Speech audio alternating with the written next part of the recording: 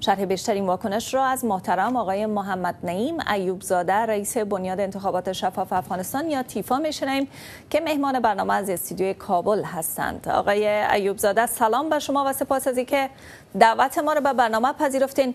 به نظر شما چه تعداد اعضای کمیسیون اصلاحات انتخاباتی وابستگی بر جناهای سیاسی دارن؟ و آیا میشه که از اونا مشخصا نام ببرین؟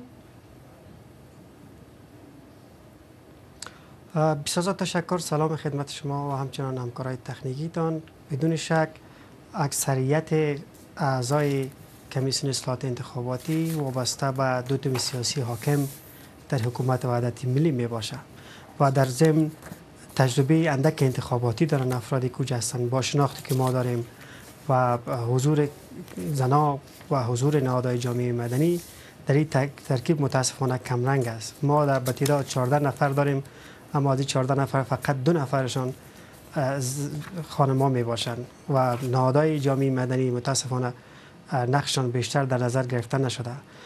شناختی که ما از افراد داریم و اعضایی که معرفی شده اینا هر کدام در زمان انتخابات با تیم های سیاسی فعالیت بله. داشتن و مربوط احزاب سیاسی مطرح در افغانستان میشن. اکثریتش اگر قرار باشه نام بگیریم شاید زمانگیر باشه. اکثریت می‌تونیم بگوییم که بالاتر از 90 درصد اعضای این کمیسیون وابسته به تیم بله. سیاسی خب هستند در حالتی که موضوع جریان داره فکر می‌کنیم با تمام منازعات سیاسی که روی کمیسیون وجود داشت و روی انتخاب رئیس کمیسیون آیا بدون داشتن افرادی که وابستگی سیاسی داشته باشند ایجاد کمیسیون و آغاز به کارش ممکن می‌شد یا خیر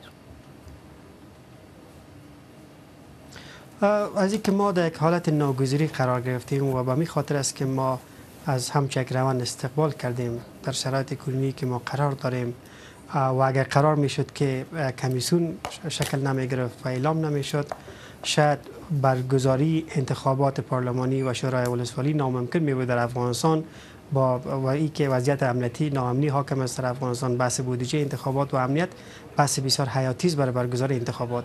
ما در حالت ناگزاری قرار گرفتیم و استقبال کردیم از این حرکت. نگرانی های خود ما داریم.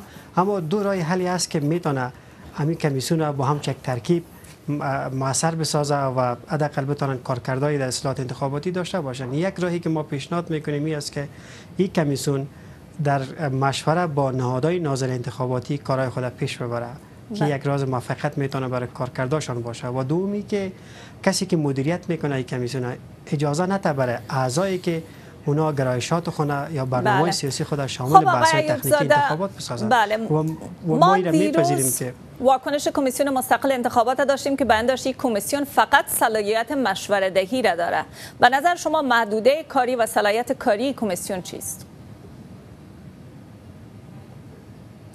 خب اکثر کمیسیون که شکل می‌گیره کمیسیون موقت مخصوصا اینا نقش نقش مشورتی است ولی مشوری از اینا می‌تونه بسیار کارساز باشه بسیار موثریت داشته باشه برای کارهای عملی در پروسه. ما سه مرحله را تعیین می‌کنیم برای اصلاحات انتخاباتی. مرحله اول که همین کمیسیون روش کار می‌کنه. یک سلسله پیشنهادات جمعآوری می‌کنه به اساس یافته ها و بعدا میفرسته برای مراجع مربوطه که روش کار بگیره کار شود. مرحله دومش ای است که چطور می‌تونه این تعدیلات وارد شه از طریق قوانین قانون انتخابات و قانون تشکیلات صلاحیت انتخاباتی مرحله سیمش مرحله تطبیقی است که آیا تطبیق بله. میشه عملی میشه یا خیر بله. ما از این کمیسیون بیشتر توقع نداریم که کمیسیونی باشه که صلاحیت آوردن اصلاحات عملا داشته باشه بله. مشوره کمیسیون می‌تونه مسئولیت برای اصلاحات شاید باید در انتخابات داشته باشه خب به طور کل نظر شما در مورد نوعیت کمیسیون و طرز کارش چیست